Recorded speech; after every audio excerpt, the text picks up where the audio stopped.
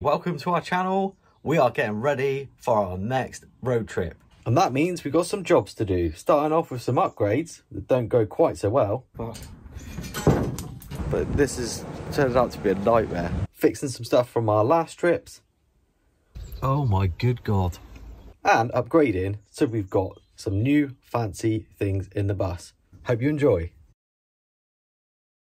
So our door in general, may be a bit worse for wear. So this one is pickled and needs to be repainted. But the main thing that bothers us is the fact that when we're driving along, there's quite a big gap, so it's quite noisy. It's not all that secure. So the first thing that we bought is, it's like a barn door lock. So we're gonna hope to use this in the bus when we're inside of, side of it. Uh, as a basically an extra a uh, bit of extra peace of mind to keep the door secure from being open from the outside. But also when we're driving along to keep the door nice and secure. Slides. Opens both sides. What I'm hoping to be able to do is fit it to the door to provide an extra extra brace essentially and it's just secures with some screws but we're going to secure it by actually bonding it to the door as well. So i just need to decide where i'm going to put this for the best. Uh, bang for my buck. And after a little bit of to and fro i realized i needed a filler plate behind. So i bought some 6mm aluminium cut it down and I actually bonded it to the back but not before cleaning it down with some U-POL degreaser because it was grubby. Then I added some CT1 on the back and jobs are good in. Alright, so what I've managed to do is I fit the door lock on here. It's been bonded on as well with CT1. So I've done that first because I wanted it to be bonded on there. Now to make sure I got a really, really good bond, what I did was strip off the paint underneath as well as the paint on the bottom of the door because that was looking really untidy. Um, and then I bonded it on there and then added it in, added in the six screws that came with it and then by the time that CT1's gone off that would be enough to hold it on there anyway hopefully forever. But with the screws in there definitely. So what I've done now is I've masked up added a bit of foil to the window didn't tell Kelly. Um, I'm just going to dust it down with some etch primer and then we're going to try some new paint that I found. And this is largely how it works I do add a bit of rubber around it later to stop it jiggling around, but it's now nice and secure. In a moment of what might turn out to be madness or genius, I bought eight wheels that are in very, very, very sad state of repair.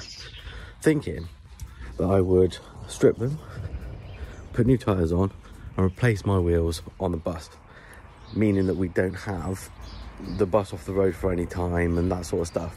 However, getting it done has been difficult. Thankfully, the hero Luke is on his way.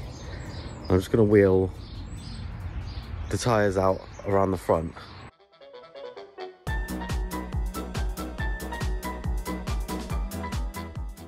Oh gosh, I moved them all around the front. That's hard work. Um, so we could send an eight off. Lots of the tyres are on here first glance, they look brand new. Some of them have still got their original uh, like green strip around them. They've literally never been used. However, that one is from 2005. So it is too old. And some of them are just pretty well worn. So we're best off really swapping them. They're all different load ratings. They're all different tread patterns, um, which is no good. I want them all the same load ratings, all the same size. The ones on the van themselves, they're all um, more than legal and they'll be fine, I think, for a while. But none of them are um, have the triple peak rating, so all season rating that's needed for some parts of Europe. We also want to put a spare wheel on our very rusty back doors. Now the wheel's gone off the loop for blasting, um, I'm going to fit a wheel holder to the back door. So this has been made by a very talented chap called Roy at RTL Metalworks. You might be thinking, why am I fitting it to these absolutely bogging rusty doors?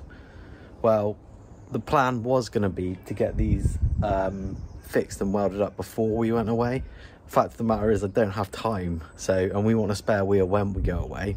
So they will be being fixed up when we're back. But for now, we need to get a spare wheel, so we've got one to carry with us. I'm just going to give it a quick clean down because you can see like the salt from our last trip has got in all around the seals and, and just giving it a good rusty look. That wasn't there before we went away. This is the nuts and bolts of it. So I've had mine built so the spare wheel will come at the bottom of the door because I thought that I was going to be keeping the windows but it should work out well because actually I'm going to be wanting to mount bikes up here eventually off the other door. So you've got the structure here that's going to hold the wheel and then it makes use of the two holes on either of the hinges here to hold it in place. So it comes with a bracket to do that.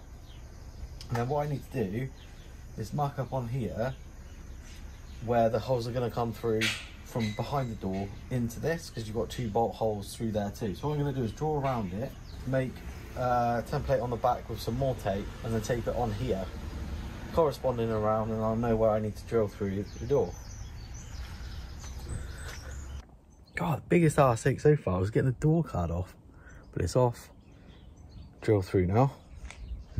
Yeah, these are going to need some fixing. This that door is actually much better than the other one. There's nothing left at the bottom of the other door. But yeah, got some good storage ideas ready for this space. Love a bit of storage. like a glove. Right, okay, so this should be good.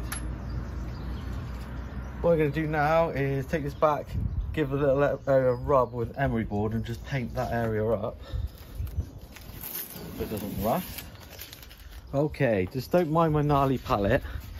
Obviously we do a lot of uh, crazy projects and the pallets uh, are great workbenches what I'm going to do here, so this is the face that goes against the door, and obviously there's a hole in the door.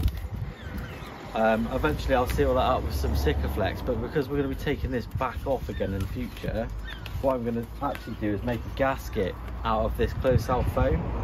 So what I'm going to do is stick it on here, and then trim it off with a knife.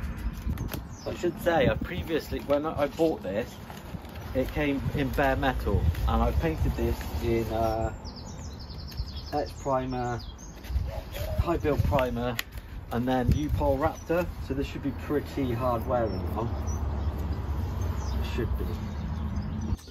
Okay, all being well, this will now line up.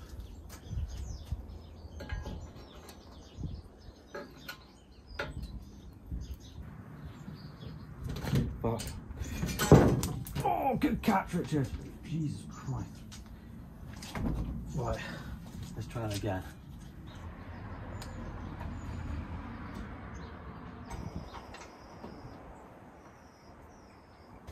Right, so that's going to fall off now, so we should be able to try and line those up.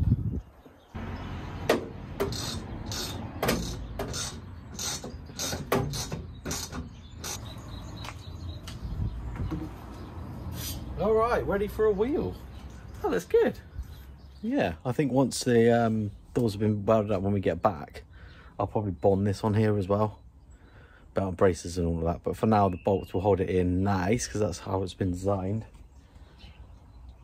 Um, so let's check out how Luke's getting on with our wheels. Hi there, it's Luke from Allan Automotive. Some of you may recognise me because I'm the poor soul who had to weld Richard's bus up, was, well, a good few years ago now actually. Uh, was amazed to see how it's come on. So the main part of my business is actually shot blasting. So uh, we got Richard's wheels here. As you can see, looking pretty manky. So uh, got eight of these to do. So the plan is to get these all blasted up and uh, get them off to the powder coaters and make them look pretty again. That's how they turn out.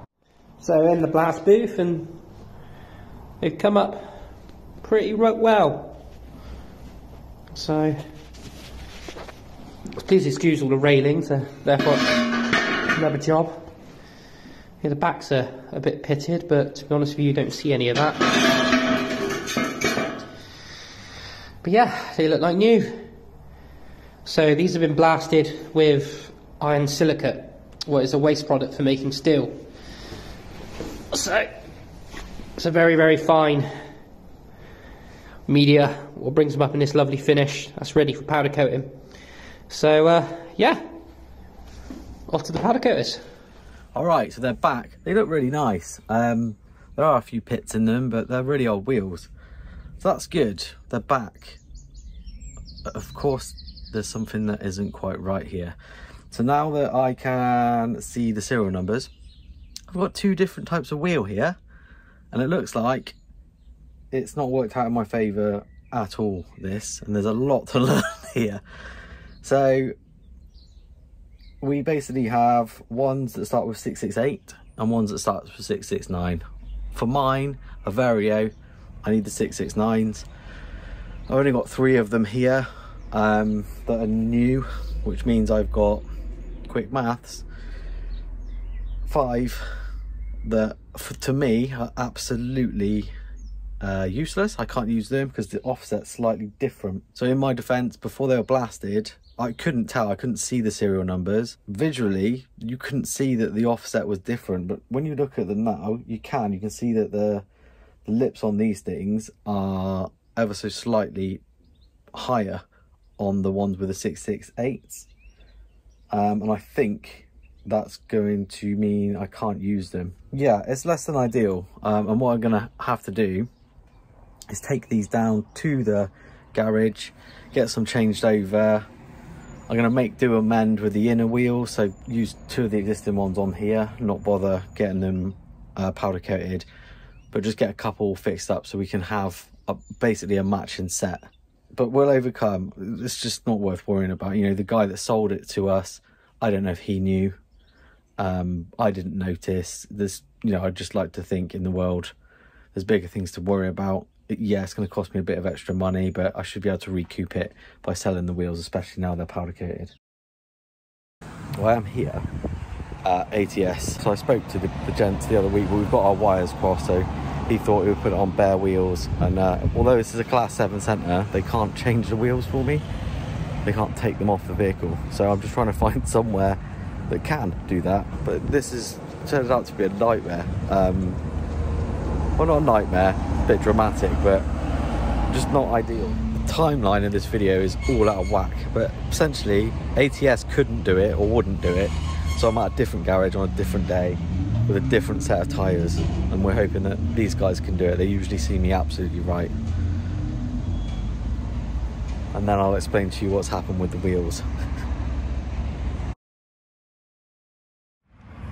Excellent effort, to be fair, from the lad here. Been here for about two hours. Um, and we've got a good set of tyres on now. And they look like this. Fabulous from this side. Stunning new wheels. This side got one good front one. However the back is a bit mad max. But we'll get that sorted when we get back. Inside we've got the two wheels to take home. Three good tyres to put aside or sell on so all's well that ends well, sort of. So we've got new tyres all round. Yes, this looks a bit gnarly. I'm going to throw a cover over it. Um, and it, this came off of the vehicle, so we know it's good wheel. And we've got all of the other ones sorted. Going to retorque these obviously after 30 miles, uh, just to check that all is right and tight.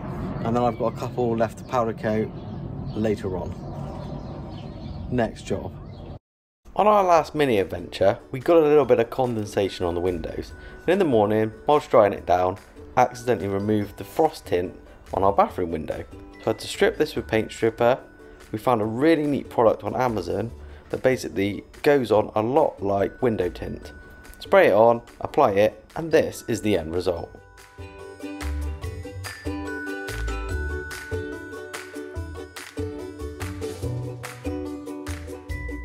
Another thing that we noticed on our last trip in particular is that the water pressure wasn't as great as it could have been. So I've got under and I've seen that there's actually a good kink coming out of the pipe. So I've replaced the outlet with an angled one and I'm going to actually go through now and uh, change and clean all of the filters as well. So in our bus we've got a pre-filter. I'm just going to check to see how much crud's in there. It shouldn't be anything because we've actually got one of these that we use to filter all the water before it goes into the bus, like a pre-filter. Um, and we're going to change that too for a new one today and the filter under the sink as well. Um, just before the next season. I might chop that filter open, the pre-filter, see if there's any crud in there, because I am interested to see whether it's been a worthy purchase or not. Right. Oh my good God. That is disgusting. What on earth? Jesus. And I guess that's why you have a pre-filter. That's absolutely shocking. I've just washed it out in the sink so there's no more debris in there. Put that back in. I mean, that's going to help flow. So you obviously you have one of these to stop any of that crud going into your pump because it would pretty much mash it up quite quickly. I am shocked though because we only put clean water in the tank and what on earth was all that crap? Right, let's get the screw back in. Go change the one inside. So I've just cut the top off of my old pre-filter. It looks disgusting to be honest. Just gonna pull pull the gizzards out of it. Just to see how bad it is. But at first glance, I would say use a pre-filter. Well, actually, but you, you, can see by the time that the water's passed through the activated charcoal that fills the canister, comes out the other end, the, the sort of sponge filter at the other end is much cleaner, as you'd expect. It's not yellow and or brown, it's still sponge coloured. So, I think it's worth doing it. So anyway, we've bought another one, and we just keep this in the van.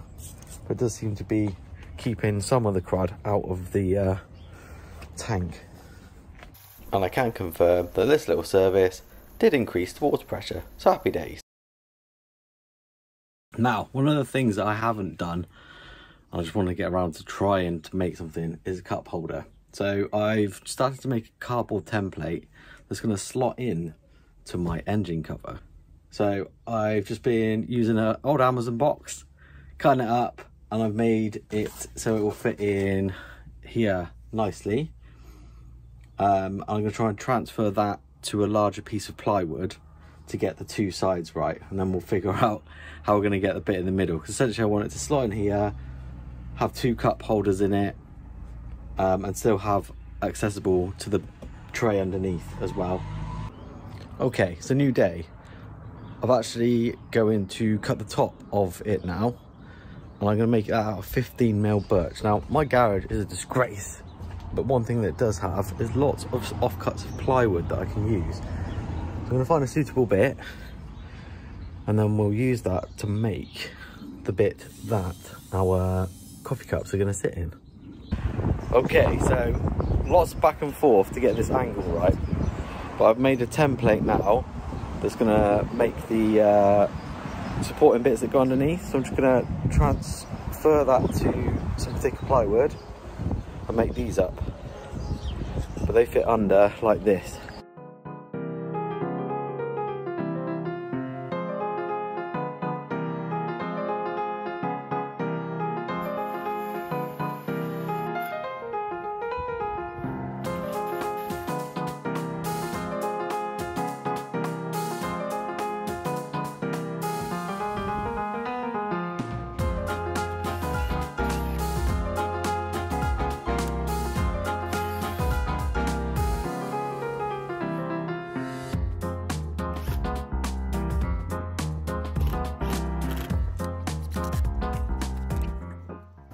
Okay, so horizontally it's pretty pretty tough. Like, I don't think it's to go anywhere, but any movement this way, I think it's going to fall out. So what I'm going to do is get some fittings to go from here to here and here to here.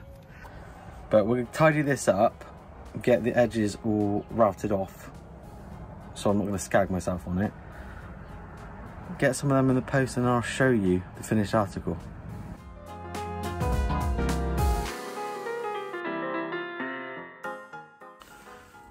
Okay, so actually what I've got, ended up going for these these little latches that I've used everywhere around the bus actually. It's nice and solid now. Got two cup holders, I'm actually going to use one for my phone. I'm going to put a piece of wood across here eventually, but because we want to get on the road, got access in here. Nice and solid. Good to go. So there we have it. We have fixed things up, we've upgraded, we're ready to get on the road. Hope you can join us for our next adventure where we're going to be heading across to Europe. Thanks for watching guys, take care.